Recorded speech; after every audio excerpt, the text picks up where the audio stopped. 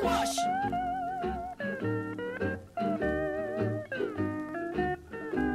We went to the Berkeley Farmers Market where I picked up this adorable little personal-sized butternut squash. Hard winter squashes. They're available right now. Their harvesting season ends in late summer, early fall, but because of their high storability factor, they will be available well into the colder months. They were definitely present around that first Thanksgiving in America all those years ago because squash were part of the triad, the three sisters that were the staples of the Native American diet at that time. I'm talking beans, corn, and squashes. In fact, our word squash comes from the Massachusetts Indian word askutasquash, meaning eaten raw or uncooked. Hard winter squashes like this one are a great source of all kinds of important nutrients. Their rich orange color indicates that they're very high in vitamin A, beta carotene, and the wonderful antioxidant beta cryptoxanthin. I just wanted to say that name. They're also a great source of vitamin C, folate, fiber, as well as a pretty good source of omega-3 fatty acids. And that's important because having a healthy balance between omega-6 and omega-3 fatty acids is very important for cell health, neuron health, brain health, all things that we want to keep alive and well. And since omega-3 fatty acids are easily damaged by heat, it's an interesting idea to consider eating this raw. That's what we're going to do today. Squash! Today, you are witnessing the dawning of a new era. A new era of convenience and understanding. A new era of clarity. We are instituting a rating system for the difficulty of our recipes. The Freshtopian Blender rating system. It's going to go from one being the easiest to five being so challenging I perhaps shouldn't even be attempting it. Today's recipe?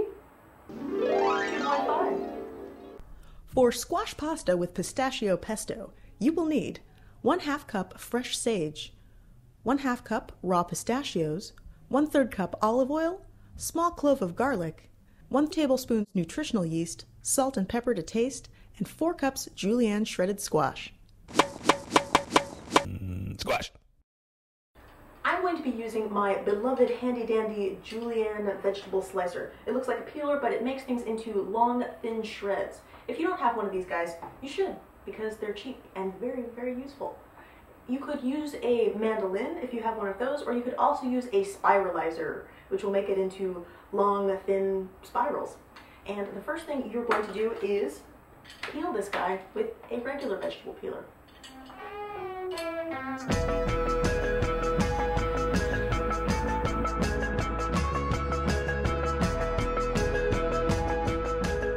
got our squash peeled. Now it's time to julienne shred it.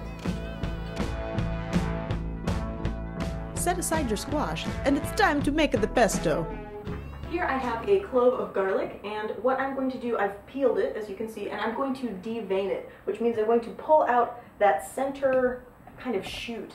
And that's where a lot of the kind of hotness and like burning, like, you know, unpleasant garlicky aftertaste comes from. Removing that central little bit really helps kind of leave you with the, the flavor of garlic that you like and not so much of the nasty aftertaste that you might not.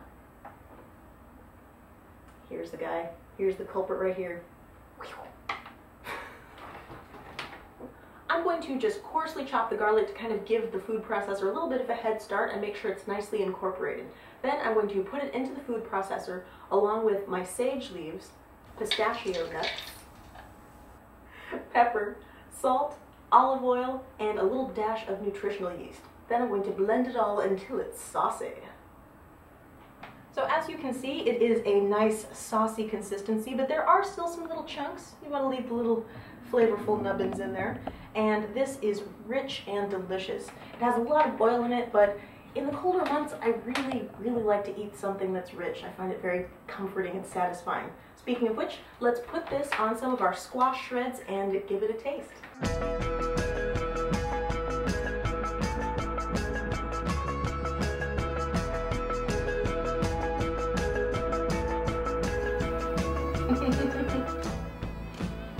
Mmm. Mmm. I thought it would be. The flavors of the pistachio is really strong and distinctive, and I love pistachios, so it's really wonderful. Also, there's that rich kind of earthy quality from the sage and the kind of bright, sweet quality from the squash. Absolutely delicious. Together, match made in heaven. Or on freshtopia.net.